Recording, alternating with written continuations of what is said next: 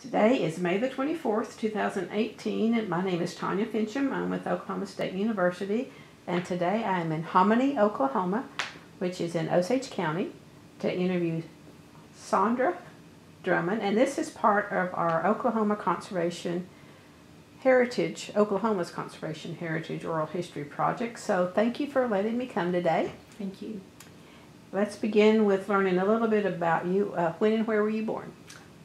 Welcome to the heart of Osage County. Thanks. That's, that's the important thing here. I was born here in Hominy, Oklahoma, and um, I lived here all my life, literally. Yeah, born in the old Hominy City Hospital, which is no longer, and um, I just, you know, went to school here all 12 years, graduated in Hominy High School in 1965. Uh, went on to OSU for one semester in about two weeks and ended up running off and practically running off and marrying my high school sweetheart in uh, 66 and then moved back to Hominy and um, pretty well raised my children here and everything. Dick was in the ranching business. I'm married to uh, Jack Richard Dick Drummond and um, uh, been here ever since. Well, when you left to go to OSU, what was your what were you majoring in? Well, I started in home economics. Okay. And then when I left OSU in February of that year, um, I continued to take a few classes along, but after four children, you know, a few years later, I did not continue, but always kind of wanted to do that. So um, my four children were in school, and in um, the early 1980s, I decided to go back to school with much discussion with my husband uh, and just went to Tulsa, to Tulsa Junior College at that time. It's now Tulsa Community College. And started picking up business classes because I was doing the ranch books. And uh, a lot of the accounting procedures I didn't understand. Depreciation was just something I, I couldn't understand. So I took a economics class and then an accounting class. And after the first semester, I really liked it. So I continued to uh, go on and pursue. Um, and after a couple of years, I only took like six hours a semester and went two days a week. But there were some other ladies from here that were going, so I, we commuted together, which, you know, kind of helped. Um, and my classes I had to fit in with my children's schedules. So when I completed over there, I lacked one class of having an associate degree. But to go on to OSU, I didn't need finite math. So I transferred on to OSU and picked up my business calculus over there. They wouldn't let you take business calculus at T TCC without finite math first, which so I did not get an associate degree over there and then commuted over there for about two and a half years. And there was still several uh, ladies from here and we commuted a lot together when we could, but I ended up having to go then three days a week. So, and at that time, then I had two daughters at OSU and uh, two daughters still at home, one in high school and one in junior high. So I completed my business management degree in uh, December of 87, which was at the same time that my husband had an accident at the ranch and passed away. And um, so at that time is when I, and with the girls' decision, with helping me, we decided to go ahead and hold on to the ranch as much as we could. We had to do a lot of land changes and selling of things and stuff at that time. So, but we kept the, the home ranch here in Hominy, but it's it's actually seven and a half miles east out here uh, on the Cotton Gin Road. So we're we're still running and operating that. It was in a trust for 20 years, and so now it's been divided out between my children and me. Wow. So we're we're, we're still, I'm still operating that with some outside uh, uh, um, Bureau of Indian Affairs leases and things. So running a cow-calf operation, but then also keeping stockers to kind of be able to cash flow a little bit more than twice a year. So I don't farm.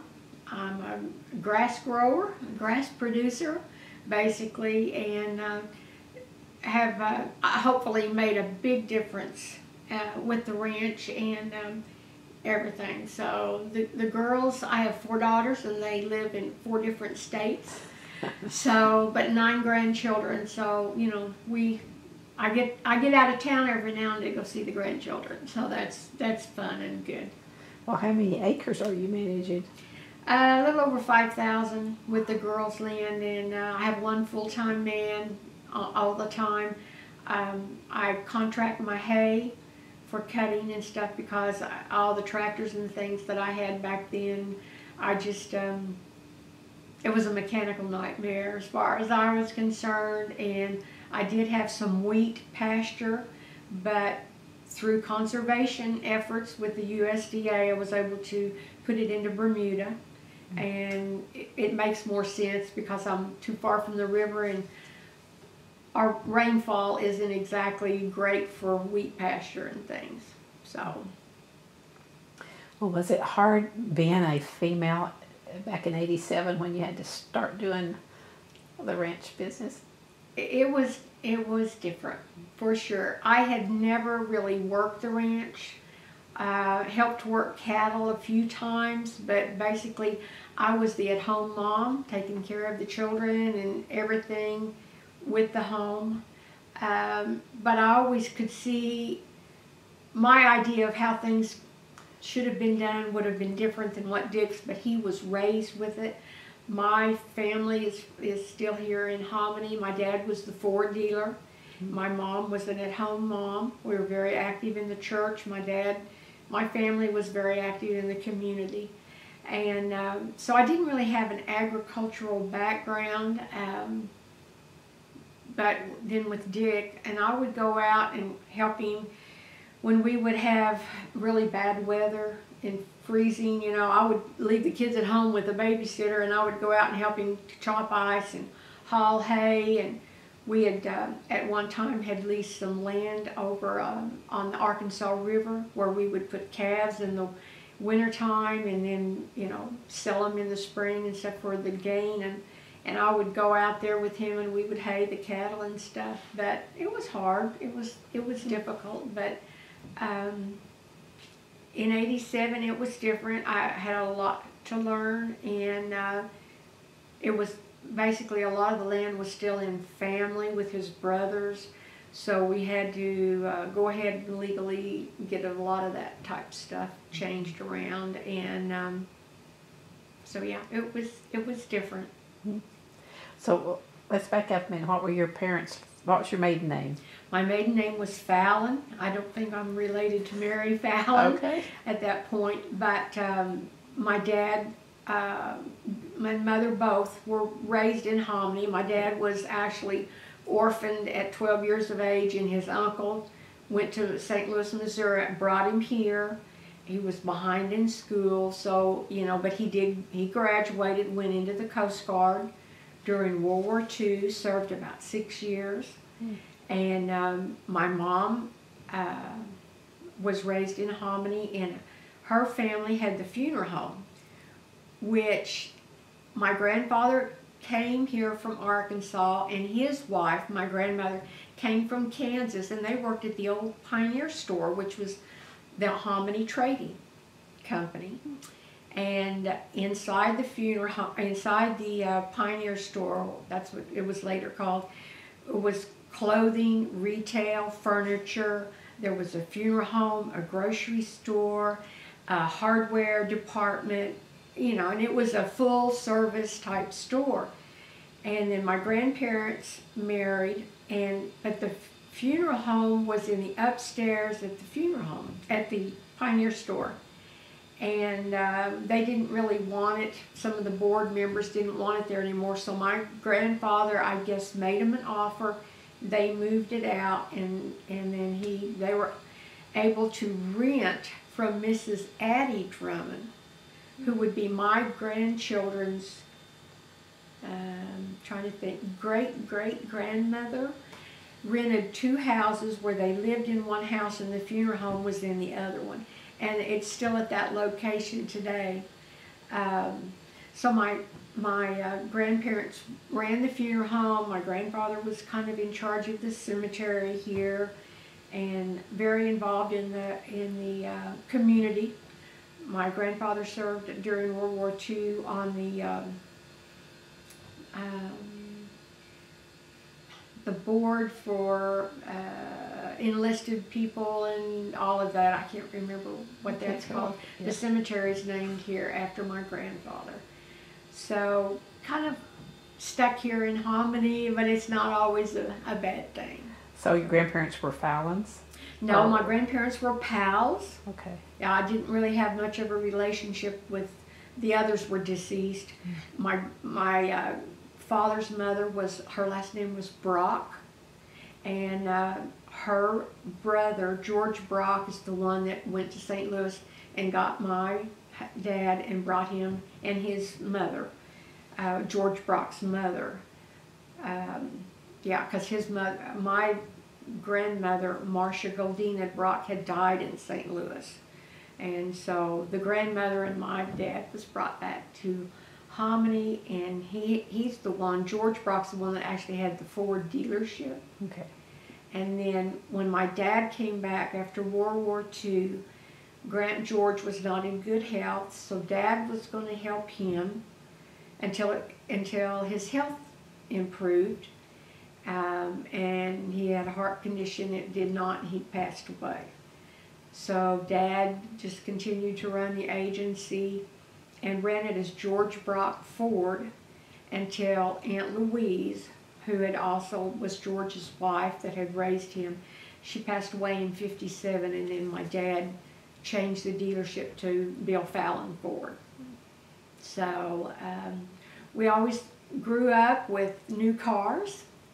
We never owned cars. You know, I find out now at reunions and stuff that everybody thought we were rich because we always drove new cars. I did see that. But when my dad passed away in 1975, my mother had to buy her first car.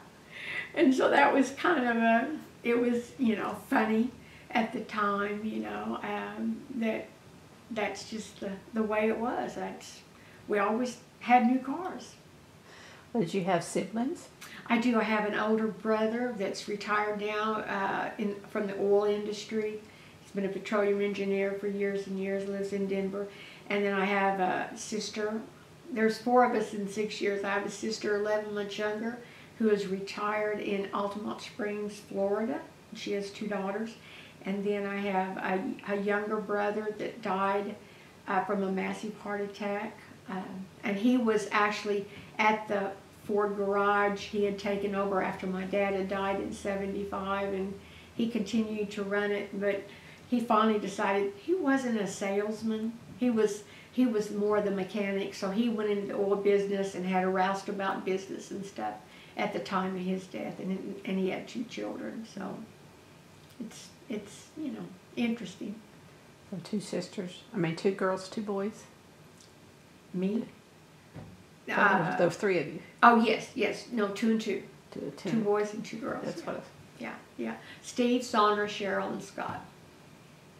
All S's. All S's. Yeah, yeah. Is there a story behind that? They just you know, I don't it. think so. I don't think so. Um, not that I know. My dad's legal name was William Shirley Fallon, and in St. Louis at the time that he was born, there was a boxer with the last name of Shirley. Well, my dad hated that name because he thought it was female. When my younger sister was born, my mother named her Shirley and put it on her birth certificate. But my grandmother and my dad was not happy. But my grandmother, Jeanette Powell, was the Osage County registrar for births. And, and uh, so he went to her and tore it up, and then he named her Cheryl. So, yeah, you know, those funny little family stories. My mother, my, my dad died after a car accident in 1975. My mother is 95 years old Wow. and lives in Hominy, very independent. She still drives within a 10 mile radius, but is in relatively good health. Hmm. So, if she could just hear a little better, she'd be happier. But she's she's good. She's good. So I check in with her every day, and you know, my family comes back and spends time with her. So that's good. Okay, and you said you went all school through here. Or is it was it all in one grade, uh, one in building, grades one through twelve, all in one building? No, you know, I don't remember kindergarten, but I guess it was in a church building here. And then I went to Horace Mann Elementary School.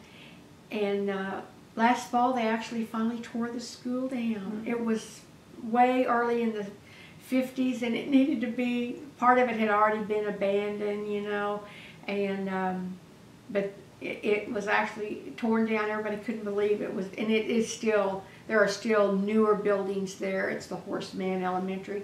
And then I went to middle school, and at that time, our schools integrated with uh, the west side of town, which was um, uh, a black student school. So our middle school went over to Carver uh, School, and then we came back. Uh, You know, there was a big surge of military when everybody got back from the war and families and everything. So, you know, they would have us like the sixth and seventh was at the Carver School, and then we had another school they called the middle school, and then the high school, and then the Hom- Hominy High School that I attended is now the Hominy Community Center. Okay. So um, there's a, a lot of alumni that have financially helped fund and try to keep that. So it's been good. But we now, in the 19 early 70s, they built a new high school here. So and and they've continued to add on here north of Hominy to other complexes, gymnasiums and tennis courts, swimming pool, and things like that. So I noticed there was a strong uh, Native American presence. yes, Were, were there in your, were they in your class? I mean, did you Oh go to school with them? Oh yeah. We were always uh, Osage or Indian people were always in our classes. It wasn't, and I went to school with the blacks. It was before that in the early, I guess late fifties that you know all that integration started. Mm-hmm. So yeah, it's that's we've had diversity in Hominy for a long time. So yeah, that's and our um school. Um, what is it? We're the Hominy Bucks. We have we have Buck Pride here. We do not have any problems with the Native American, the Osages, uh, saying that we are, you know, uh, have negative thoughts and stuff because they, we're proud of our American heritage here in Osage County, and um, um, the Osages play an integral part in our in our schools, our communities, and everything. So. Nice. So in, in high school, were you part of 4-H or FFA? No, we did not have FFA. I don't. The only place that, that we in Osage County that we have FFA is in Fairfax. Hmm. We've had 4-H for years, but I don't remember it being in Hominy at that time. No, and the fam and the Drummond family didn't participate in, in it either. That's interesting. I mean, that's I know. Yeah. Yeah, no, I was active, uh, you know, in the band. In Hominy, the band, when I was growing up, Tom Gray was our director. You know, we had 125 kids in the band. And, uh, and athletics, sports. We've always had wonderful football and, and uh, basketball teams. Baseball has just, you know, started really coming on. But, um, well, since my children the last 20, 25 years, you know, we're talking 50 years ago for me. But uh, we we didn't have any um, any. It was never in our schools that 4-H or FFA. Well, about how many's in a class these days? You know, I think maybe 30. It's gone down. When I graduated, there was 50 in the class, 50 to 55, and uh, I our rural schools are suffering. You know, there aren't any job. The jobs are limited here. They closed our grocery store this spring here. We have a dollar store now. We have to drive 10 miles to Cleveland for groceries. That's the closest. And um, if it wasn't for the school system and the uh, correctional system that's here, the prison, uh, those are the two large employers. Hmm. And um, I just hope that we can get a grocery store back in town because that's that's hurting. You haven't lost your post office. That's the main, No. main thing too. To No. keep that. No, well, we've got, in fact, our post office, I believe, is a hub for a couple of the other communities around here. Okay. And uh, so, yeah, they, we, it's just uh, the the main street has kind of died down, died back. I wondered. I mean, I, businesses are changing too. Right, Yes, and we have a lot of people that are, live around Hominy rurally that work in Tulsa. Hmm. Um, I have a, a Tulsa fireman that lives next door to me, and his wife works at Blue Cross and Blue Shield in Tulsa. the turnpike being relatively close helps Right. with that. Right, right. And Skiatook Lake, you know, a lot of people have moved out around Skiatook Lake, and so their children come to school, but they don't necessarily trade in Hominy, Mhm. you know. So it's it's changing. Rural America. But it's home. It is. It is. And my children still consider this home, so that's good. So once you finished your degree in 80, 87 and you got into the business, then at what point did you get involved with conservation? Well, I, I remembered um, that Dick received an award at the bankers' uh, dinner in Osage County. Every year they had annual awards that they gave out, and Dick was not one to stand up in front of people. He was kind of shy and a little embarrassed. We went to it. They presented him with the award. He wouldn't stay for pictures afterwards. That was about the only thing that I really knew that much about. But once, um, after his passing, and I needed to know more about the country that I had, the actual the actual number of cattle that I could raise, considering the grasses that I had, and everything. I went to the conservation district. Dick Bogart was the uh, executive director there for the state. He came with me. He generously said, "This is what I do." You know, I, you know, I was like, "No, I don't need for you to have to do that. This is my job. This is what I do." And we went over the entire ranch, and he devised for me how many cattle I could keep in each pasture.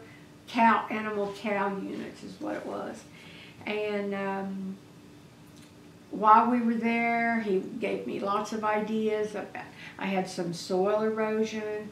I had a pond dam that was needing some work done. And uh, he, he was a good guide and leader for me for that and continued to um, check in with me and, and at an open door policy. So with that, I got to know the people at the conservation district. Well, it ended up, I went to the conservation district one day while we were having to go through the estate of my husband. Um, we'd left cattle on uh, one of the hay meadows too long, and I wasn't going to be able to have any hay off of that that year. And I made some comment about that. We come to find out we had been in enough of a drought that I could get some financial help to buy hay. So that, you know, stimulated me right there. I was like, I need to be finding out more things about this. Um, I got in touch with OSU Extension. I was going to lots of producer meetings in Tulsa, Vinita, Stillwater, Ponca City, you know, learning more things and everything. Um, and the thing of it is, I'd gotten, uh, I had, uh, when I finished my degree at OSU, I was in business management. And as a mother, you become a time management expert. Getting this done, getting that done, keep, you know, being involved with my children and all of that. And uh, so I felt like my management skills really started kicking in at that point. Uh, and about uh, three years after Dick died, one of my husband's close friends, he and his wife were close to me too. Uh, he was serving, Dennis Fields was serving on the Osage County Conservation Board. He called me and he said, Hey girl, I want you to know I put your name up to serve on the Osage County Conservation Board. I said, What are you talking about? And he said, Well, J. Berry Harrison is going off the board because he's going to run for state senate. And he had to resign, and we're looking for names. And Frank Keating, our governor, is needing more women to serve, and you're an active producer. And I said, Dennis, I don't know about this. He said, it's not going to involve that much of your time, you know. And um, he said, but you need to check it out. So I went to a meeting, if I remember right, to see kind of what it was and everything, was welcomed. And um, so I agreed to go ahead and go on the board at that time. And that was in November of 1990. Okay. And I had to go before this to have a Senate approval after the governor's recommendation and went to the Capitol and, and that was all taken care of. And so I, um, I went on the board. No, that wasn't in 1990. I guess that was. Well, you we would have been on the Osage County board before you went on Yes. before you went on the commission. Yes. So yeah. So it was in 90 in 1990 and um, I was just kind of learning the ropes and there's so many programs and acronyms and things, you know. I was just learning and and um, seeing how the, the conservation district worked. Osage County has over a million two acres. So we go, we outreach a long way, and we would have people from the Shidler area, which is north and west of us, from the Fairfax area. Um, had a hard time finding anyone from Skiatook. Hominy was about as far uh, south as they came, but then we get somebody closer toward the Bartlesville area, which would be north, but still in Osage County, and then usually a local person. Um, so I was enjoying it, learning a lot learning a lot about the programs. Um, where I was needing some ponds, and I found out through conservation that there was some conservation, they called it CCC money, which was a part of USDA. I applied and was accepted to get a, I pl- applied for a pond and they didn't have any funds available. Well, in about seven or eight months, I received a call that someone had backed out, I was the next in line for a pond. So I was able to get that done within, you know, the first two or three years. And so, you know, when you start, it, you know, it wasn't free, you know, but I got some cost share money to go with it. So that helped, and then I was able to spread some cattle out a little further and and everything. And uh, I just um, felt like I was a sponge learning a lot of these things. And then in um, 1993, Bill Joe Culver was on the Osage County Conservation Board, but he was serving as the Area 3 uh, Conservation Commissioner in Oklahoma City. There's five commissioners that represent the whole state, and it's active, excuse me, producers that are involved in conservation, and you have to be a conservation board member. Because Bill Joe Culver had served for that for so long, he felt like our district, the Osage County Conservation District, we weren't getting a lot of things different than other districts. We were just staying on top of it and being aware and being more involved. So he asked me if I would consider.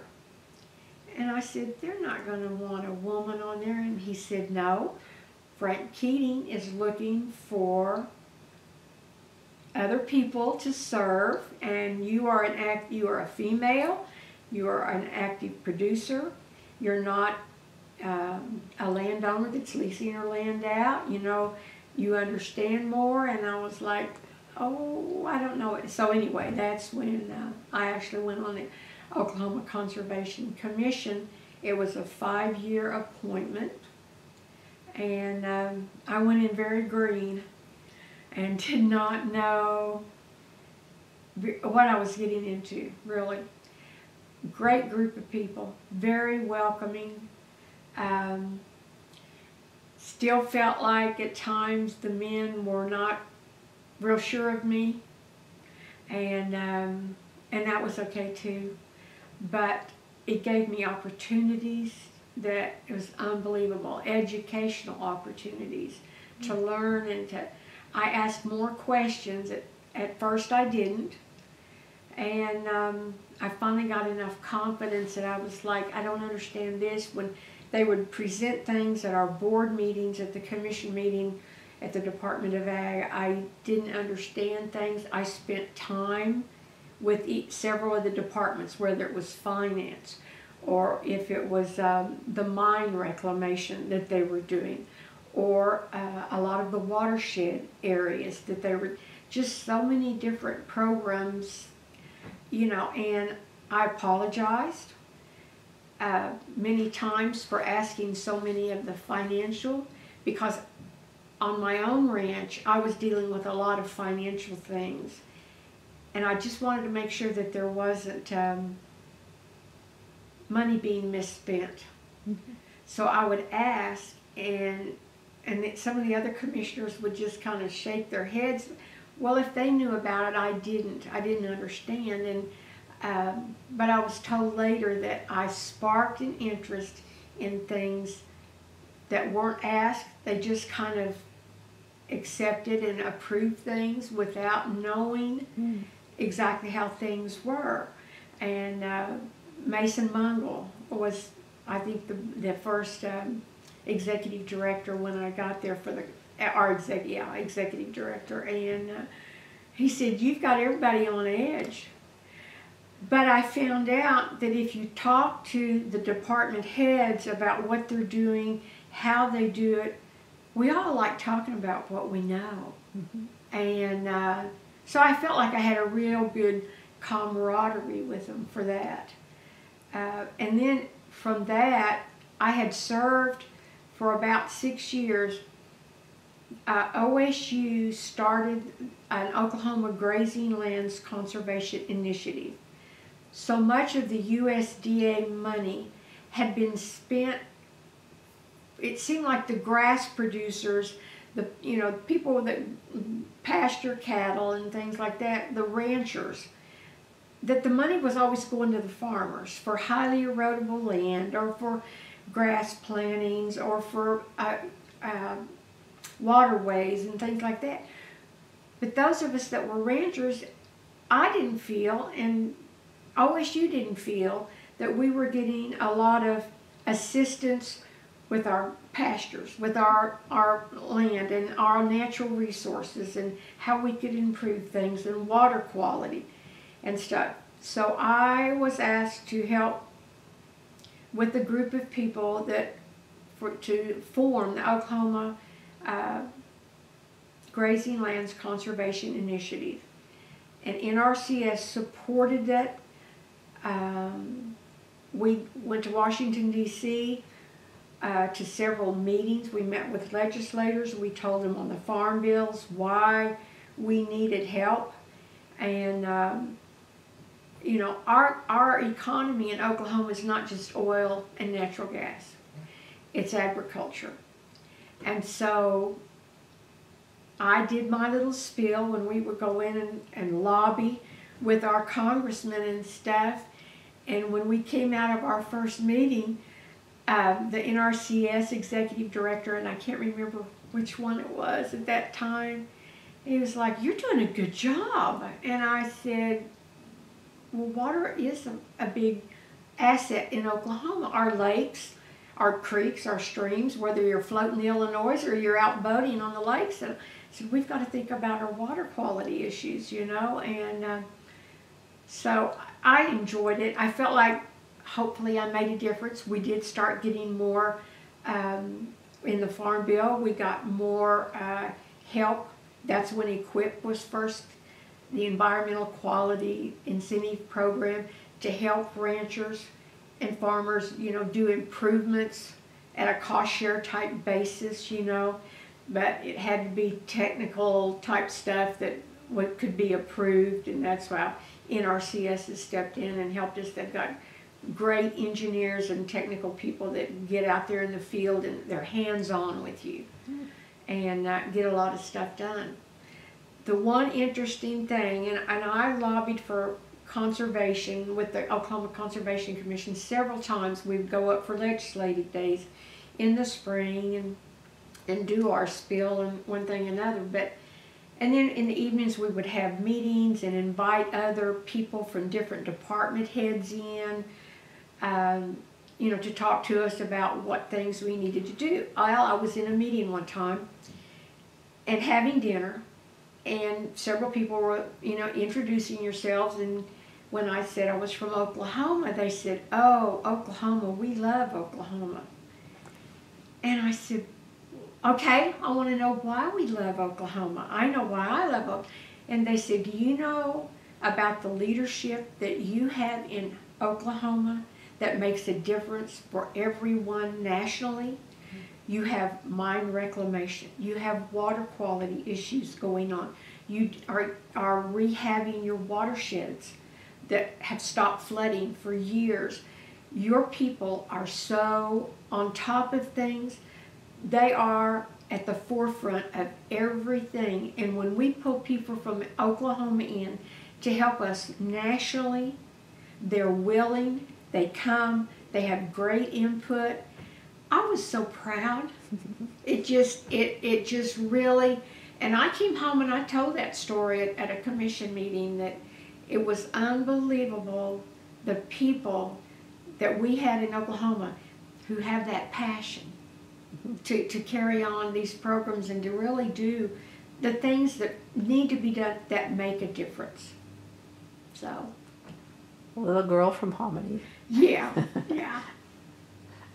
So you served two terms. Was the sec who would be a different governor if you did for the um, second appointment? Brad Brad Henry okay. uh, appointed me, I believe, the second time. Yes.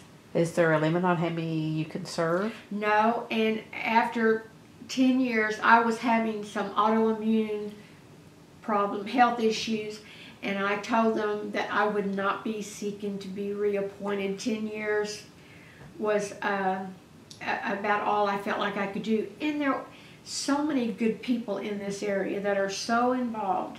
Uh, George Stunkard from Wagoner County took over after I did. He served 10 years. Scotty Harriman is there now. Great, involved, you know, people. That's that's the, the thing, and, and willing to take the time and, and do what needs to be done. But also in this same time, I was asked to serve uh, on the Oklahoma State Farm Service Agency state committee and met monthly or whenever was necessary. And that's when I asked them if they would uh, build an acronym because I didn't farm. Even though my tax return may say I'm a farmer, you know, I'm a beef producer and um, I learned so much about all the programs and everything that's available out there. Um, but, but, of course, you're appointed at that point uh, by the uh, by the national by the uh, president of the United States. So I, I don't know even who appointed me at this point. But then when uh, I think Bush came back in or what, Republican, you know, we were relieved of our duties within a certain length of time and they, but that was, uh, I served under Terry Peach. He, he called and asked me to, he was the SED at that point, state executive director. And uh, so I served with him and got to know other aspects and dairy farmers, you know. At, uh, so it was, it's been interesting to say the least. Wow been at the right place at the right time, or I guess maybe like the that. timing. Yeah, yeah. Being a female too, active producer. Yeah, that that um, you know. And now uh, I know that Oklahoma Conservation Commission still has. At one time, there was three women when when I served that served as a commissioner for Oklahoma. Very active. Yeah, very active. You were the first though, so I guess so. you didn't burn you didn't burn that bridge. They wanted more. I guess so. I guess so. That's always right. good. Left Right. a good impression. Well, thank you. How often would you have to go down for that for the commission meetings? Once a month, Once a month. unless you know. Uh, yeah, it was generally once a month. Well, during those ten years, do you recall anything that was the hot topic or issue at the time? Um, you know, that's been 25 years ago. I, I so know. I was I- thinking, was that during the were they doing the non-point pollution? I don't know my dates either, so that may have Uh, been different times too. Well, a, a lot of things came up. Um, Blue Thumb started where they started monitoring a lot of our streams and stuff, and then they actually educational wise, they got the school children involved and a lot of volunteers, and it's continued today in cleanup, uh, saving the Illinois River, you know, all down by Tahlequah. When I was a commissioner, I represented six con- 16 conservation districts, and that was one of my areas uh, that I did. Um, you know, we've had rehab of watersheds over in Washington County. They did the Double Creek over there. Rogers County has a lot of mine reclamation work that was done. Unbelievable work over there, and that's a strong conservation district to be able to get. When the mining was done years ago, they just left these awful areas with these deep areas where if you if you wanted to go swimming, you could swim, but you couldn't get out of them. They were hazards, and uh, they have worked for years getting all that. And I believe that they got are continuing with that program. Still, other states, and and there's still a few of those areas.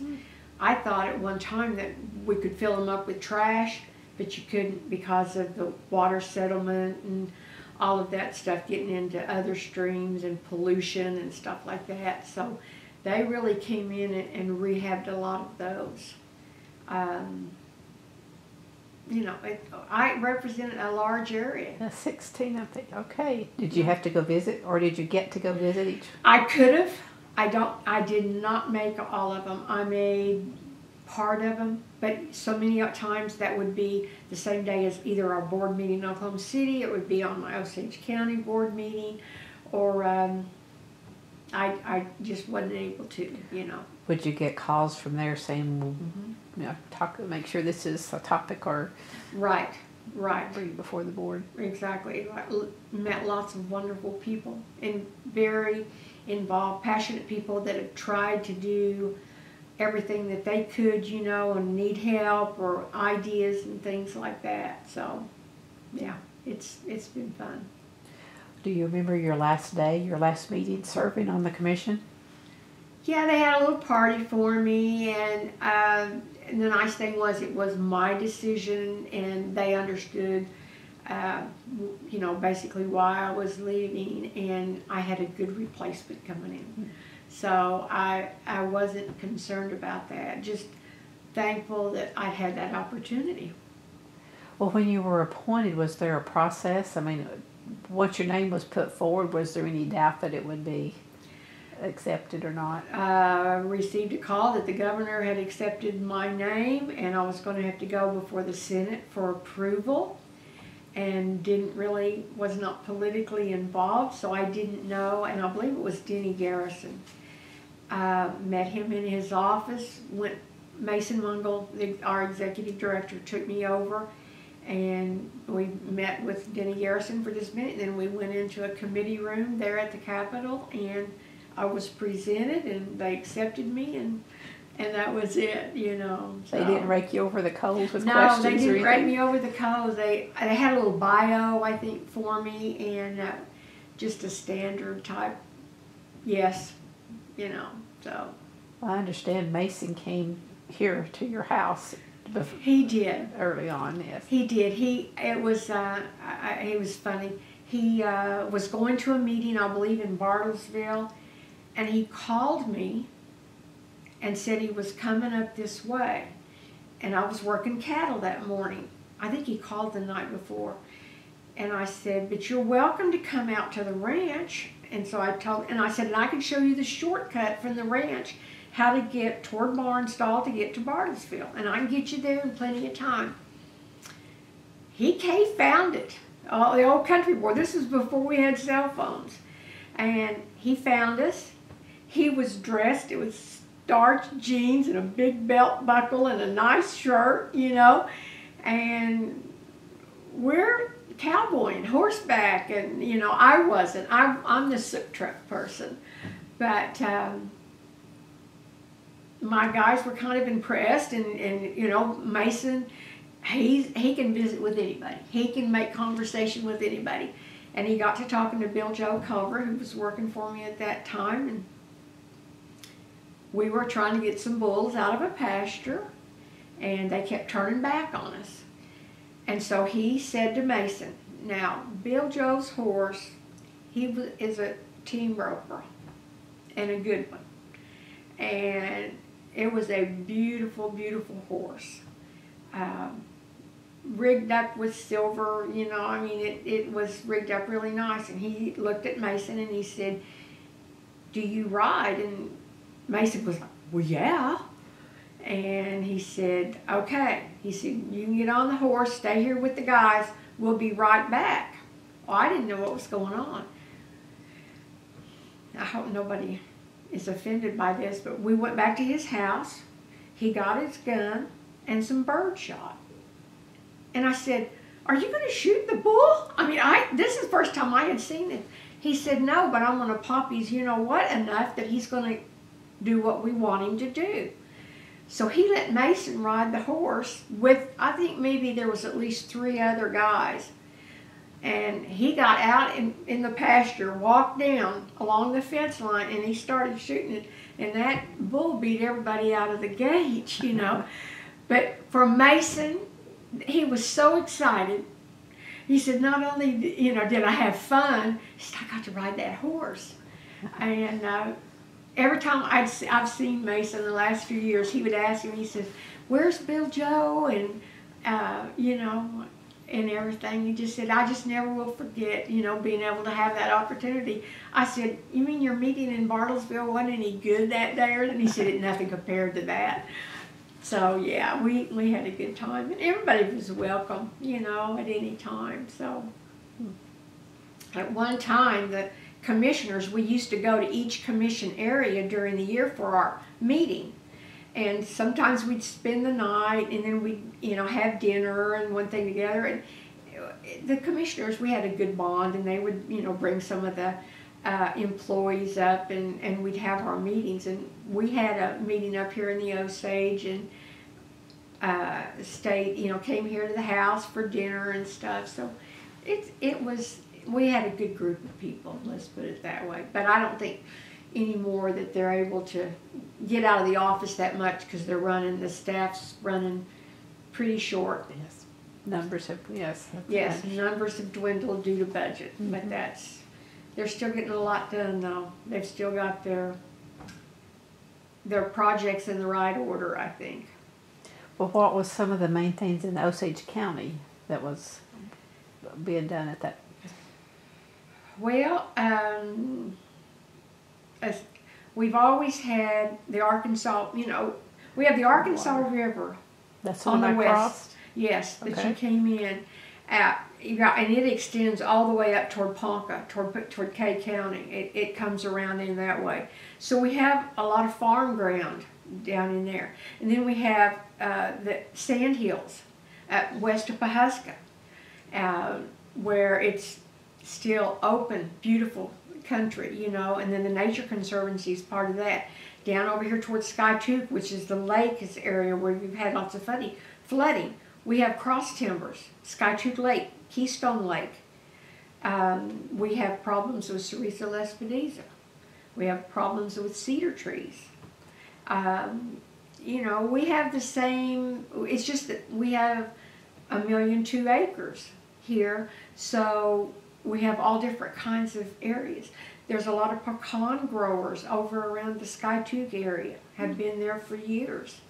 And uh, I, on our board, uh, one of our uh, directors is a, a pecan grower. He raises has cattle. He's a retired Tulsa fireman. You know, so you you know they they're interested in improving and doing the best that they can with what we have and for our areas. We try to always cover because Osage County is such a big county, each of our areas, so that our our area, like with me, other ranchers would ask me about programs when I'd see them, or ask me about, you know, is there anything going on with conservation right now that we can get some help, or something like that, or, or uh, you know, who's the uh, uh, uh, district manager now, you know, things like that. So I've received, you know, phone calls at times, you know, is there any programs? But then when we have to have programs, talking about the farm bill or whatever. We don't have one meeting in the county. We have at least three to five because our county is so large. I think it's the biggest one in the state, isn't It it? is, Isn't it is. I think Osage County is as big as the state of Rhode Island or something like that, hmm. you know. I mean, we've had directors from the Grainola area drive in and it would take them an hour to get there to the meeting. Hmm. That's dedication, you know, to get things like that done. So, um, I'm sure right now we've started having hog problems along the Arkansas River Or wild hog. and the um, the drought that we had four years ago. I have hogs that came up creeks. I have hogs on me now that I never had before. Wild hogs, not they're you know they're feral. They're not uh, domesticated. You know that had just gotten out. Um, so you know we still have coyote problems. Some our quail are starting to come back. I don't allow quail hunting. I have started for 15 years. We never had turkey out at, on our ranch, and I have turkey now, and it's very limited honey because I want them to stay. Mm. So And all of that plays into conservation. it does. I, it I don't think about birds, but I guess it, you know, hunting does. Right, right, Habitat. exactly, Habitat. exactly. So Is there a solution for the hogs? Oh, eradications, I know, a Well, tricky- yeah. tricky uh, each one of our conservation districts this last year was given a hog trap door that we can rent out. In Osage County, we purchased the panels and the fence posts and everything to where when they when a producer would come in and rent it for a month at a time, there is a fee attached to that. Um, they can set it up, you know, in order to try to and then have some guidelines and kind of tell them instructions on how most of the people know where the hogs are and how to set them up and everything. We haven't purchased one of those that you monitor from your phone and you drop the gate when they drop in there, you know. But um, there are the state, the Oklahoma State Department of Ag sends planes up every now and then for hogs and for um, coyotes Wow. and they've been up three times that I know of this last year. I have a volunteer fella out of Tulsa that, as a sport, he owns a Black Hawk helicopter and comes on his own with sharpshooters, and they get hogs. And they have concentrated along a lot along the Arkansas River this last year. But they also, during the winter months, got 44 hogs behind one of my facilities. So that's it's it's becoming 44. 44, yeah, yeah. So uh, you know they're not good because they will get into the quail eggs and you know the turkeys and they'll they'll kind of run them off. And the deer, it causes the the hogs cause the deer movement to be different than it should be. What do they do? Do they do damage to the ground? They do. They they're digging it up and making messes, and you know if you get a hard rain, they'll sometimes pack it down. But they're just they'll they'll carry ticks. Yeah, and I'm wondering about what other di- diseases. I uh, I have a young man here in town that I said I would never use hog dogs, and I now have a fellow that comes in with hog dogs and you know there's usually two or four guys that go with them, and uh, they take care of them. They do not catch them and sell them or haul them anywhere else. They kill them on the spot. Hmm. So it's they're not they're not good. What do they interact with the cattle any or? Not really, but they sure know when we go and feed cattle in the winter months. Yeah, they'll they'll Oh, be hiding. nice. I uh, went into one pasture this last winter, and I had a bale of hay out a ways from the uh, feed troughs. When I went in, the cattle weren't waiting on me, so I have a siren on my truck. So I drove a little bit further south and went by this bale of hay that I had rolled out, and on the end of it there was still a little bit of a round mound of, of hay, you know, there. All of a sudden, this sow comes out, and about 13 little pigs take out and are running after her, and they're squealing and all kinds of stuff. And I was like, oh my gosh. And it was, you know, a hundred yards from uh, the feed troughs that were in the pasture. And I was like, yeah, they're over here because they're going to pick up anything. They'll scour around the feed troughs and stuff. And they do damage, you know, there's no doubt about it.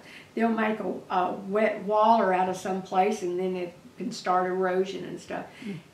We pretty well had them run off from us, but as of three days ago, we have now two sows, a boar, and I don't know how many little pigs. And they're coming back in up the creek.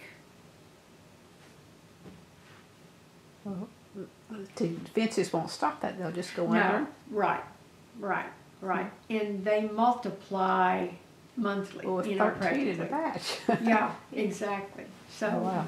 we don't want them. We're gonna have to stay on top of them. I, I don't know. Never a dull day. It sounds like. No, there, it's a, yeah, new day, new day every day. Don't do the same thing every day usually. About how many cattle do you? Um, about 300 cows, but then I'm running stockers too, which come in. I, you know, start buying them. You know, December, January, depending on the market, and then we'll run them through June, July, and grass. That's the only thing I have to sell is grass. You know, so um, and they're they're doing well now. I've definitely seen the highs in the last few years and would love to have a few more of those, but hopefully, you know, I'm, I'm hopefully I'm more, more than maintaining right now. Let's put that. But you know, I went through a, a series. Uh, uh, they call them IRM, uh, Integrated Resource Management, and I had already been doing it, and I didn't have a name for it. And Integrated Resource Management is that you get your team together, your banker, your conservation people, your environmental people, your vet, and and you kind of devise a plan so so that when you have questions or problems or you need some answers, you have your people set up to really help. And and I needed that probably more than anything of how to do even my uh, livestock buyer, you know. I mean, there are sale barns around, not as many as there used to be. But um, when I buy my cattle, I, I have that person that helps me. And because, you know, and then four children, you know, and nine grandchildren, I'm kind of short on time sometimes with a few things. Do you buy them online? No. I know there's some auctions. Yeah, I haven't. I don't. online. I haven't done any any superior cattle online. I've seen them at times, but no, I I haven't done that. But I know people that have. And you don't ride a horse. You ride a truck. All right, correct. or or a four wheeler, a gator, you know, or something like that. Yeah. But you can ride a horse. You just choose not to. Or yeah, I'm definitely not now. Not now at all. Yeah. well, going forward, do you see how much longer do you think you'll? I don't know. Any idea? I don't know. I I think about that more every day, as as I get older. Yeah, for sure, for sure. I I, I have done so many of the projects. I'm a project person. I've done so many of the projects at the ranch. I was able to get into EQIP, which is Environmental Quality Incentive Program, where they come out and evaluate. And I had a certain area that I was wanting to do some uh, tree, the blackjacks uh, uh, removal, and so I did some spiking. I got approved to do spiking and spray for Sericea lespedeza and build a couple of ponds. I was able to get that done, and then I moved to another area, and never could qualify after that because other people, you know, were, were getting involved. Uh, my children and I participated in several uh, cost share, Oklahoma State cost share programs that we get through the commission. It's given and it's to help eradicate either whatever our conservation district teams as well we have priorities every year we state our priority problems in our area whether it's erosion or for grass plantings or for um, uh, uh, tree eradication, cedar eradication. At one time, our office had a cedar tree eradication program that was in the southern part of the county. And it wasn't for a hundred thousand dollars, but we were able to fulfill that, help some people get rid of some problems, and utilize that money in the county. And that's why Osage County is, has always stayed active to get people to know about the programs so that we can keep putting money back into the county and improve our land and our resources. Well, how do you get the word out? How do you get, get them to know about? Um, wor- a lot of it's word of mouth. We advertise a lot in the newspapers. Uh, we have meetings. We work with the Cattlemen's Association, um, OSU Extension. They'll have meetings. We'll be a part of it with with uh, conservation, but we've always worked hand in hand. Our people have always worked together.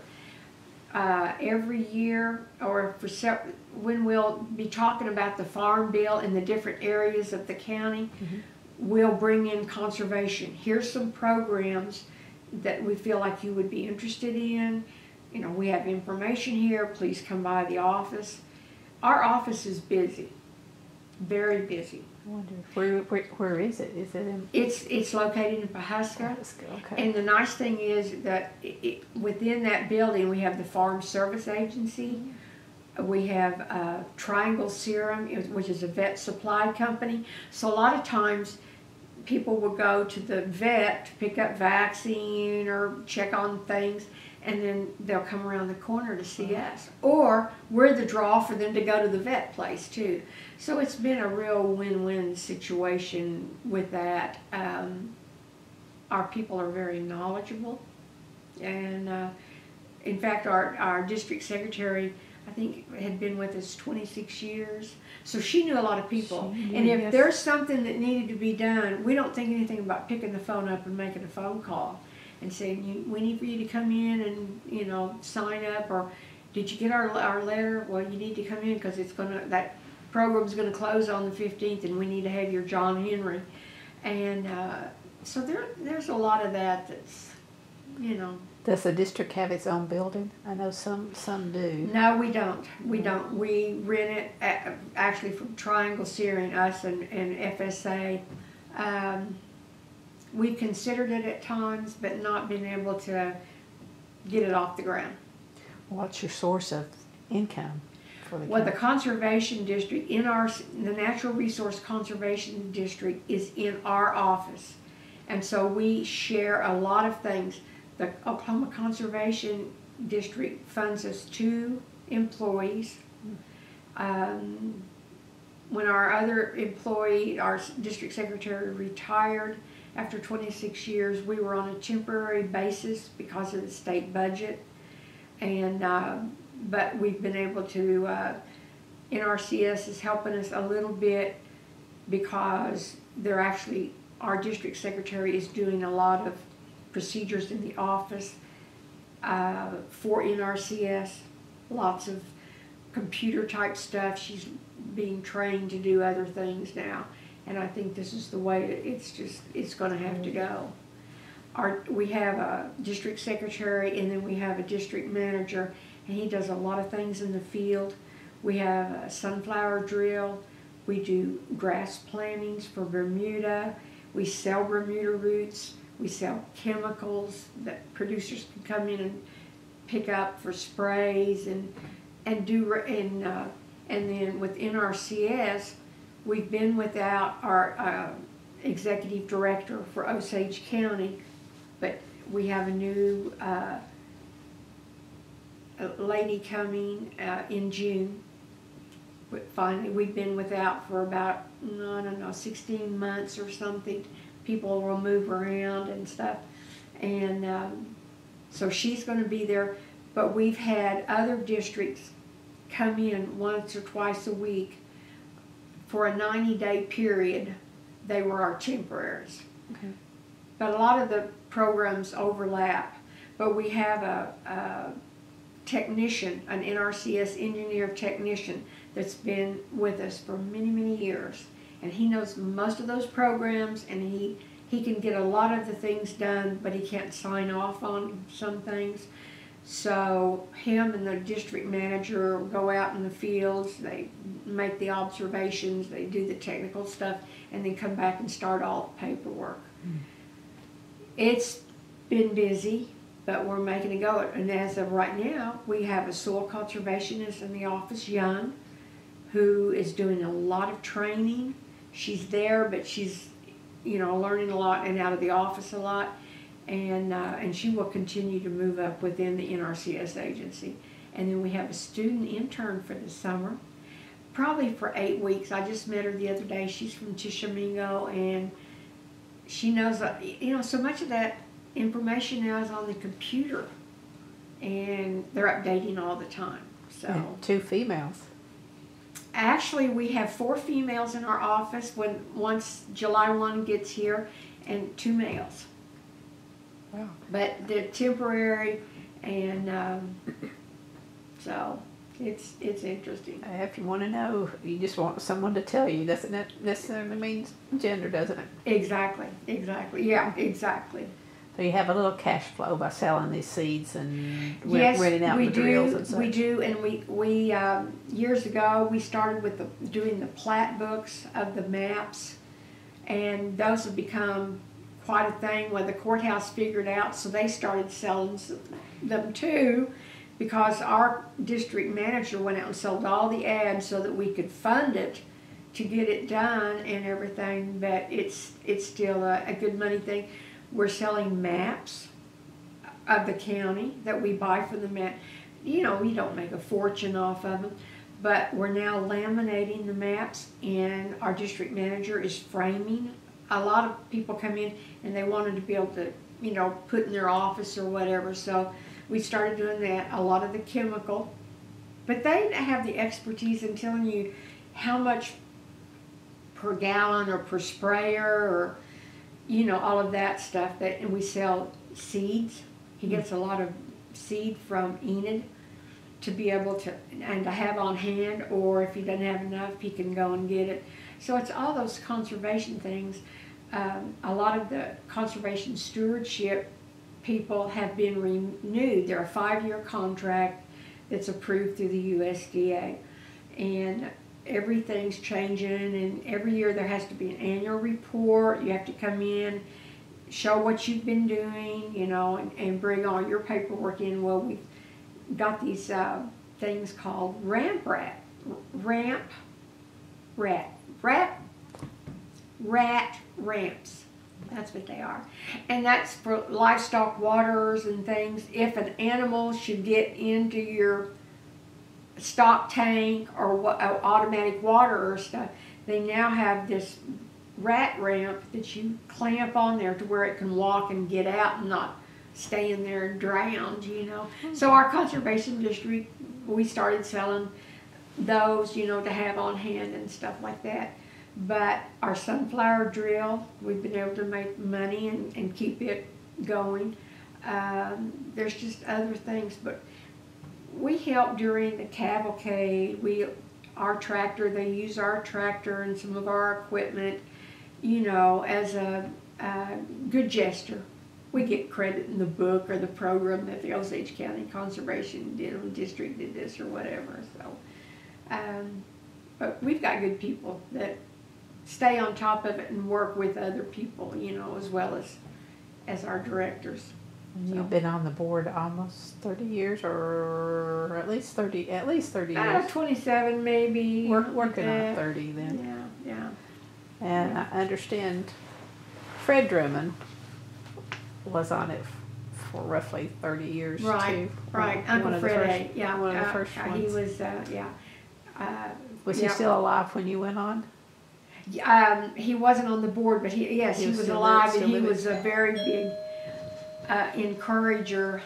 We were talking about Fred's reaction to you getting on the board.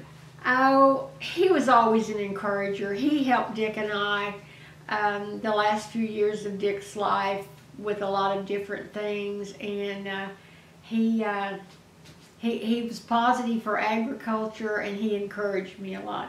He helped me a lot with the livestock after Dick died and advised me and, and uh, was willing, you know, was a willing participant uh, in the Drummond family. So, yeah, and he was he was glad that I would uh, was continuing on. He was one of the I think one of the founding uh, directors on the Osage County Board, so he believed in it. He's one of the ones that uh, felt like with conservation uh, to burn your grass in the spring, which we now call prescribed burns, and um, how high the protein and OSU came up and did a lot of research and things like that too to help it. And uh, to this day, we I don't burn every year. We burn every three years down here, but sure helps eradicate a lot of cedars and and uh, a lot of debris that maybe has fallen on the ground and stuff. But the protein in the grass is really really high, and cattle the calves do really well. And how is he related to you? Who was your Uh, he would be my husband's uncle. uncle? Uh-huh. Okay. My husband had, uh, his dad was a twin, and Fred A. was the older of the uh, boys. I noticed they have his house downtown. Well, Or no, is that that is different- or is that a actually different one? the grandfather. That would be Fred A.'s grandfather. Yes. Okay. How? Yeah, because it was built in 1907. So Drummonds have been in the area. They have, they have, time, and time. Mr. Drummond uh, was uh, from Scotland, Hmm. and Mrs. Drummond was a full-blood German. Hmm. So yes, Good. So yeah. Well, what does it take to be a good board member? If if you're looking for someone to join, what what are you looking for? Uh, well, I think someone that uh, has the time and will take the time.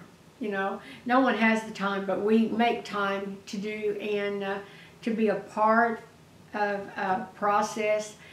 We've got several guys on the board right now that I didn't think would uh, stay on for very long, but they're learning. They're learning and uh, they're like sponges, you know. Uh, our board members do change and, uh, and, and but that's okay. We need new blood and uh, it, it's just interesting because they have taught programs just like I have with people to get them involved in stuff.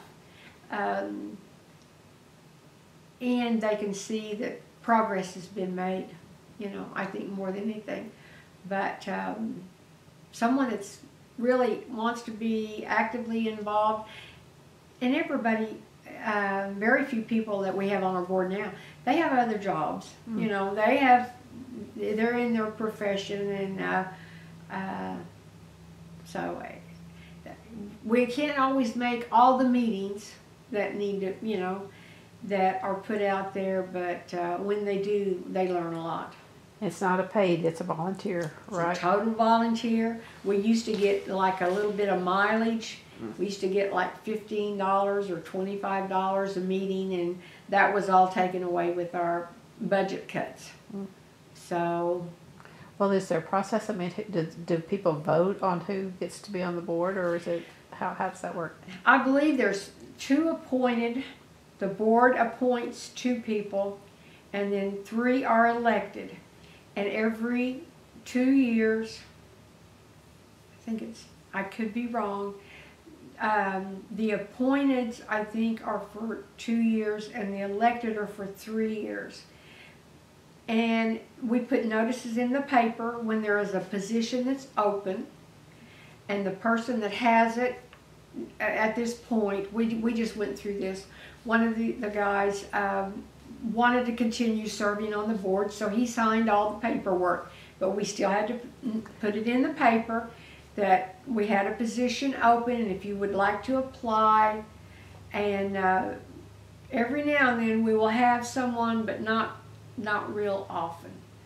Um, now the appointed ones is just an automatic appointed. When I went, I was actually in an elected position, but when I went on the Oklahoma Conservation Commission, they put me into a appointed position because if I had been in the elected position, I could have, if someone had filed against me and won, I couldn't have served on the on the Oklahoma Conservation Commission. Yeah, that makes So, sense. you know, it's it's a paperwork thing, I think, more than anything.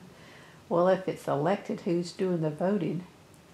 Um, County if residents? no one runs, they're, they're against the person that's in there, or if only one person signs up, there won't be a vote. They're received by acclamation. Okay. Otherwise, everyone in the county that's a conservation district producer that's on the rolls, you have to be a, a, uh, uh, you have to have a conservation plan, is eligible to vote. Okay. And we haven't had, we thought we were gonna have one this spring, and the guy that signed up did not totally understand what he was signing up for. So I think he's gonna go on as an associate director to be able to, because he's still working full-time, uh, and make meetings when he can to kind of see if this is something like he would like to do, because eventually, we're gonna have a couple of people that are, you know, probably gonna say, okay, I've done my fifteen years and I think that's enough and I think I'll move on, so, and including me, you know. So their meetings about, about once a month? Yes, we do meet once a month, un- unless it, every now and then, um, we don't have enough folks that can make it, uh, so we don't have a quorum. Because one of our directors is with the Osage County Fire, um, the Osage Nation Fire Department. And this spring, when we were having all those fires, he could not make the meeting. And then another young man from over around Skiatook is a, uh Tulsa Fire Department. He's on the, at the Tulsa Fire Department. And they were having a lot of grass fires. And, um, you know, so every now and then we don't have a quorum, but generally, at least we have at least ten meetings a year. Oh, And it's on a set time. a couple hours each or? Right, So- right, right. It's still a little bit, of- it's a commitment that you need to, it, it comes with love, I guess is what, those who do it. Yeah, I think um, a passion for doing it and being involved, and you got to really like, you know, what you're doing and feel like you're making a difference, you know, and that you can make a difference. So you have a conservation plan yourself for your, for Yes. your ranch? Yes, and I, a, uh, uh, a conservation plan is not the same year after year, but I haven't updated it. Anytime that I am in a, I sign up and get approved for a program, we have to, we have to go in and redo the conservation plan because things have changed. And, um, and if I would lose a lease or, you know, one of my girls would sell or something, you have to keep your, your plan current. And that might involve ponds and waterways and. Right. Well, it's not so much that, it's more the legal aspect of it. Now, if I go in and, and actually would do, if I would get back into, um, well, I'm in conservation stewardship, the CSP program right now. And if I do a pond repair or something like that, I don't have to do that. But I've signed up to do certain things every year. And when I go in for my review, I have to sign off that I've done those things. So accountability, I think, probably is uh, more than anything. But you know, the the technician in the office, I wanted to do some spiking, which was eradicate a bunch of trees in some really rolling canyony type areas. And very quickly he informed me, you'll never get in any kind of program because of the terrain of the land. And if we would eliminate a lot of those trees, you're going to have erosion. And then you'll expect us to come in and help you take care of that. And we cannot get into the construction business, you know, things like that. So, you know, there's a lot of advice out there if you just take it. so you, yeah, but but you also have to be familiar with every spot on your property. Exactly. If you've got five thousand acres or whatever, that's right, right. But I, we don't, I, you know, we don't own it all, so right. a lot of it's leased. Well, I'll show my ignorance. You mentioned a, a term, eradicate something. It must be a weed or something. Lespedeza. I've never heard of. What is that? Well, my understanding is that Sericea lespedeza was brought in here like in the 50s by the USDA and it was supposed to be wonderful and that quail would eat it. It is one of those of no, uh, noxious weeds that takes over and will just literally, it will kill out grass and everything else. And it grows very, very fast. The seeds are like little hard balls. And um, they can sit there, from what I've read, 20 to 30 years. But when you have a fire, it pops them open and it just comes right back. Hmm. Two weeks ago, I had sericea coming up in pastures that was that tall, and it's already that tall right now. And I met with the aerial spray guy this morning, and we're going to hit a few places, but I can't do the whole ranch. The cattle, it's not good for cattle to cattle eat. won't eat it. It's got a, a bitter taste, and quail don't like it. I'm not sure if goats would even eat it. Hmm. And they eat everything from what I yeah, understand. Uh, yeah, exactly. But then you have to do special fencing. Is it that that you see that's got the purple blooms, or is that something else? It's kind of white, like a Uh, vine. that's vine? that's um that's a form of uh, that's another lespedeza, I believe, but that's not bad stuff. It's this stuff. It'll grow tall, and then in the fall it'll have white flowers on it. And I have had a guy with a ground rig come in and spray, and and we would talk every day. And he said, okay, how much? You know, and I'd say, he said, have you got any white flowers yet? And I said, they're starting to come out. He said, okay, within two days, I've got to get there and get it done. And he did, and I mean, it cleaned up areas that an aerial, well, the aerial spray guys weren't even around, but we had to use a different chemical. You couldn't use Remedy, you had to use a fall, it was for fall instead of spring, summer. Um, I'm trying to say Tordon, but I don't think that's not it. I can't remember what it is. That's a whole nother another set of vocabulary. Exactly, exactly. Another whole set of chemicals. That's crazy. You have to know a little bit of everything. You Sounds like- learn. Yep. Let's put it that way. You learn, yeah. Well, if you don't know something, where do you go to get your information? Uh, depend on what it is. I, it's like I have two pond dams right now that are needing some repair work done. And looking at them, I'm not sure a dozer can get in there, so I called my dozer operator that also has, um, not backhoe, he has backhoes, but he also has, oh, don't, don't do that to me. Uh, Special equipment. We'll call it, yeah, we'll oh, the big track hoe. It's a track hoe to where he can sit on the pond and he can go and dig and pull rock up and stuff like that. And uh, so, you know, I just, I ask, I asked a lot of questions. Sometimes I feel like I ask too many questions, but the one question that you don't ask, you know, and, and I used to feel bad because I would ask so many questions at the commission meeting. And they're like, no, don't, you know, don't feel that. And they never made me feel bad about asking questions and, and finding out the answers and stuff. So, um, I just search and try to figure out how to do or what to do, all that, so.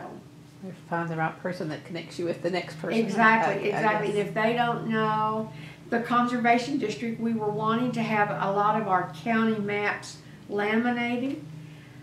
And I checked at Kinko's and I checked at FedEx, Kinko's FedEx, and I checked at Staples, no, Office Depot. And they didn't, they could only go up to twenty-four inches, so I contacted, I have some hunting leases with groups.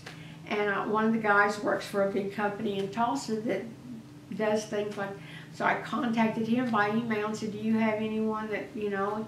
He said, let me tell you, this is who we use all the time, you know? And, uh, and then in between time, we found out that Staples in Ponca City could do them. And so, you know, you just start asking questions and people, people are pretty good about giving you information, you know? Then you do with it what you want, you know? You don't always, uh, people are, there were times when I would ask people questions and they were like not willing to um, or not comfortable sharing, you know, sometimes information. I ran into that and it's okay. You know, I just went a different direction. Well, have you had to go and talk people into doing easements for watershed, waterways, sheds and No, stuff? we haven't had, we, the seven watersheds, that has all been taken care of now. We have had problems with someone below buying the land and wanting that watershed opened up or something, or us having to go in and do repair work. And they didn't want us in, even though we had a legal easement. So we've had to get a hold of the commission and they've had to write the letters, get the attorneys involved and all of that. But it's, it's worked out, you know. So it's not really all on the district level's responsibility to do that, the commission helps. Right, right. And our watersheds, we do inspections annually. And if we have a huge rain, our district manager's out there checking to see if there was any damage because we've had storms to where debris would, would get caught in some of the uh, equipment and, and keep the valves from working properly and, and all of that. And uh, so our district manager, you know, he takes care of things like that. But uh, um, Any structures on the property that you manage? no, So I, you don't have to, no, they're all up by uh, north and, and east of uh, Pawhuska, up at uh, around the Hulah Dam Mm-hmm. Lake and uh, everything up there. But we do maintain them. Uh, we get funds every year. We weed spray, and if there's any trees, we eliminate them. You know, if there's a problem with one of the watersheds, we'll get dozers in there or equipment people to get it taken care of, and we fertilize in order to maintain the- grass, you know, and stuff. Uh, in order to get into one of them, it's up at the old, the Mullendore Ranch. We, part of our contract with the Conservation Commission was we get gravel to come in and, and so that we can get to the watershed. We help them gravel a couple, a road that goes up there to it, so we can get to it. Um, and we've been able to maintain it and and it eliminates a lot of problems, you know. If you maintain it all the time, it helps. uh, so you, you gotta know about your ranch plus this other stuff if you're involved, so. Right. I wanna switch gears just a minute and talk about the entrance to your house Yes. with the symbol on it. Sweet, uh-huh. It's the reverse, it, a backwards one, isn't it? Okay, if you look, one goes one way, the other goes the other way. It's peace and good luck. they're Native American signs. And from what I've researched, it's Ethiopian Indians used that many, many years ago, like the 13, 1400s. And the Native Americans have used it, you know, it's like the hand is for friendship. But this is one way is peace, the other way is good luck. And, and then the arrowheads, this home was built by a full-blood Osage Indian, and he brought some of the Indian symbols in. So about, how, when was the house built? Do you know? Mm-hmm. It was uh, started, I noticed it said Carson, yes, Carson down the sides. But I'm in the wrong place. But no, she said it was buff brick, so I'm good. right, right. Tom Carson was the original Osage, full-blood Osage Indian, and his parents were both uh, full allottees when they divided up the mineral rights and stuff. So he was quite wealthy. Um, and he had one brother, but Philip died as a young man, so he even inherited his. And then Tom Carson did not have any children. He was married, but he didn't have any children. But all of this is the original. The house was built in 1929, finished in 1930, and right in the awful depression. Um, the house is is a it's not a traditional um, house as far as it's not a Tudor. It's not a, um,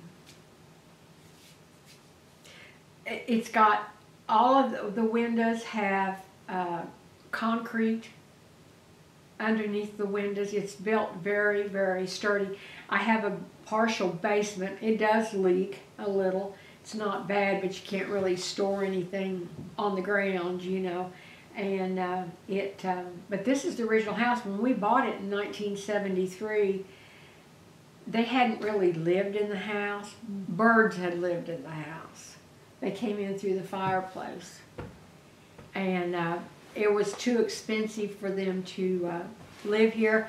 Out back there were summer houses and they lived in them. Chicken house, uh, grape arbor going out there.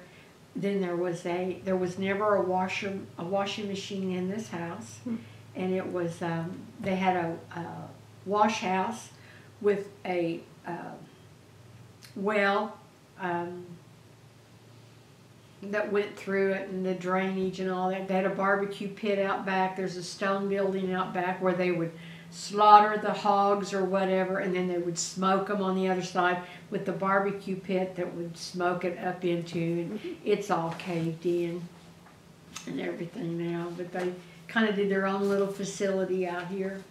It's pretty. I love the fireplace. Gorgeous. Yeah, it's it is the original. The hardwood floors are the original. There was a boiler in the basement that you couldn't even get parts for when we bought it. That would had to have been handmade, and it probably was not very efficient. So we've had to redo a lot. Well, in the basement, at least you go if there's a tornado coming. Exactly. Exactly. When my neighbors put in a, a storm cellar, I was like, why did they do that when they could come here? But Might not have time. yeah, do their own thing. Well, they probably meant to use it as a for their canned canned goods. Oh, uh, when we moved in here, this house was a hoarder's house. Um, the guy that I bought it from, he had married the widow of Tom Carson, and um, there was newspaper stacked from the floor to the ceiling. There was furniture everywhere. I mean, just constant everywhere. Too much stuff in the house. In the basement, there I have still have some crocks that rice and beans were stored in. I had um, jugs, fruit jars full of canned fruit. And three boys made the mistake of coming out here. They were teenagers, could ride their motorcycles out, and they helped me pull everything out of the basement. And at the time, there was an old dugout pond in front of the house, and I had them go out and pour all that stuff out rather than just throw the jars out.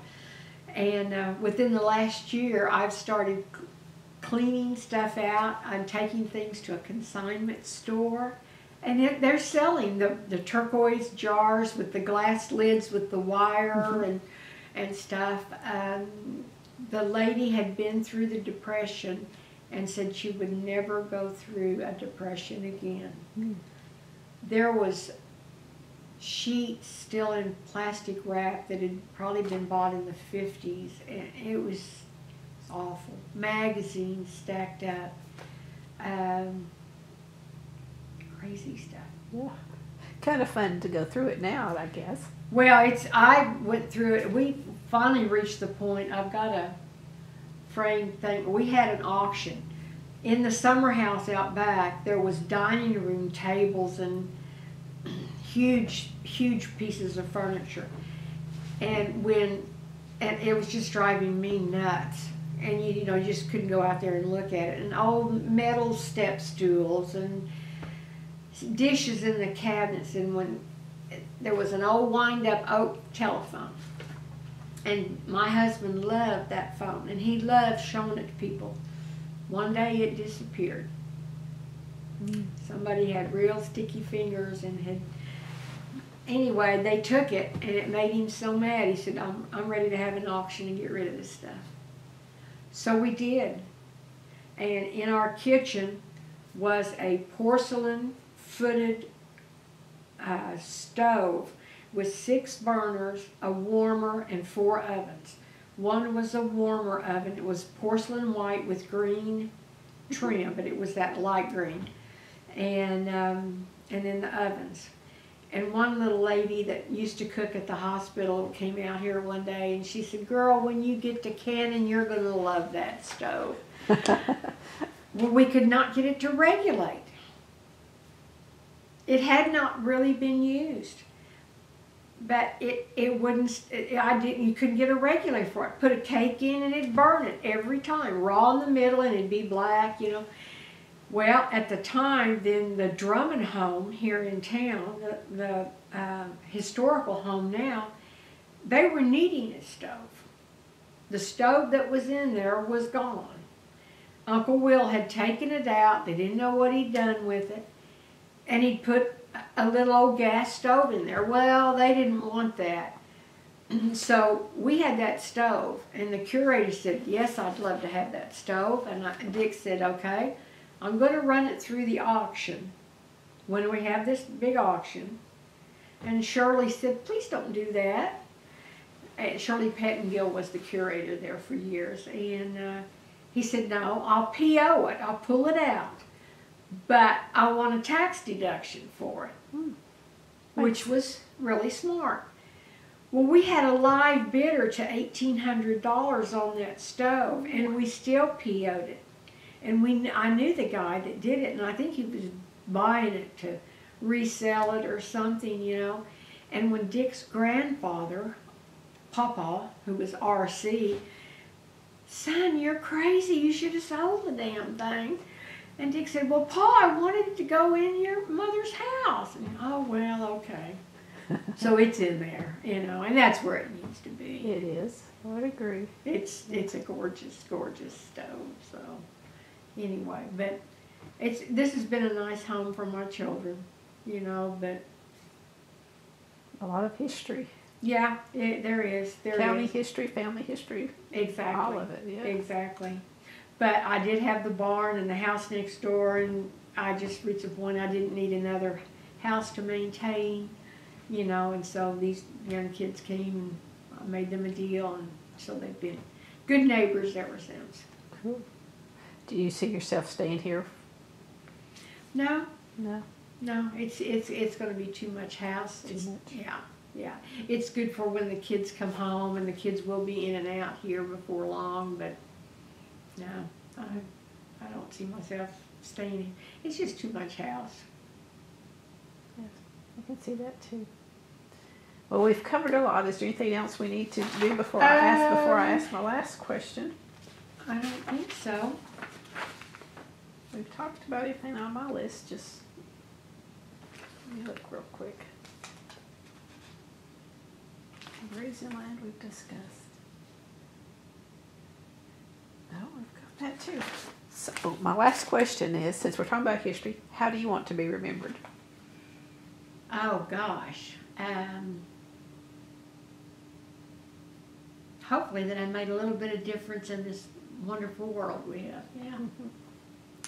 I'd say there's no doubt there. Well, I, I, it's it's been enjoyable. I've enjoyed working with conservation and uh, definitely feel like at the at my girls, my daughters' ranch, and I, I, I can see a difference that you know we definitely improved and uh, but not um, environmentally. It's it's better. It's more productive. Some people may think I've done too much, you know, but because we had a lot of trees. But now it's just maintaining, and I just hope that I can uh, uh, increase the production on it with cattle, you know, because I just I think that's uh, it's been a wonderful way of life too. Been a good steward of the land. A good steward of the land, exactly. That's Well, before we close off, do you want to name your daughters, or do you? Oh, well, my eldest daughter is Lynn. Uh, all, I'm proud to say all four of my daughters are college graduates. So that was uh, kind of tough. And they didn't have any student loans when they left college. And some from OSU. Well, three are from OSU. The, my nurse didn't graduate from OSU, Oh, but that's that's good. She's she's an RN and very a very good one. But she lives in Virginia. So Lynn is um, uh, was a marketing graduate from Oklahoma State University, and um, is married to Brigadier General Brad Swanson. They're right now located uh, for the next two years in Tampa, Florida. They have three children.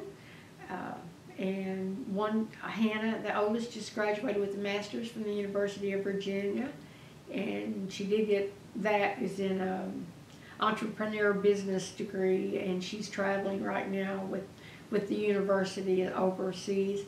And then her daughter is the second daughter is Claire, and she plays lacrosse at the University of Tampa. Um, and is a good student, is now in ROTC and is taking private pilot lessons this summer and uh, is hoping to fly jets at some point. And uh, then Will is almost will be 16 this summer, and he will be in uh, I think the ninth grade this next year. He might be a sophomore, and uh, we're hoping he'll come to OSU Okay. because uh, Lynn's husband Brad is an OSU grad also. He's from Cushing, Oklahoma. Yeah. Now, my second daughter is Janet Drummond. She has three sons. Thomas is a OSU grad with an MIS degree, now working in uh, Midland, Texas, and he is a heck of a good bass guitarist and plays with bands quite often and played in Austin last weekend. So he's enjoying life for, for sure and did well at OSU. And then George is uh, uh, will be a senior in high school this next year, and then his younger brother Henry uh, will be a sophomore this next year. So they're growing up on me. And then my third daughter Julie is living in Richmond, Virginia. She is an RN and has one son Nathan that's 10 years old, and they're planning to come and visit me here pretty soon. Pretty soon. And uh, her husband is also an RN. And then Laura is married to a OSU grad. He's from Blackwell, Oklahoma, Chad Eyrig, and he's a University of Oklahoma. Uh, uh, got his law degree there, and they've lived in Austin for five years now. Um, and uh, they have Ainsley, who is a very excitable, full of life child all the time, and she will be in the sixth grade. I could be wrong, it may be seventh. And then younger sister Paige, and she will be in the fourth grade this Wow. next year. So they're busy and very busy, very busy kids. Good mamas, I have to say. Well, they had a good role model. Well, yeah, they I'm thinking two L's and two J's, right? Yes, yes, but the yeah, uh, Lynn um, is Dana Lynette, so that's confusing. But she has to sign as Dana L. So anyway, but we you know we stay in touch very often, you know, a lot, and they still basically love the ranch, but they're not really here and a part of it because life is Taking them elsewhere. taking them elsewhere. Yeah, but they come back and they're concerned, so that's that's good. It's good. Mm, Been a good life. Yeah, it has. It has. Well, That's a good way to end. So thank you for letting me come today. Well, yes, thank you. It's been great. Thank you.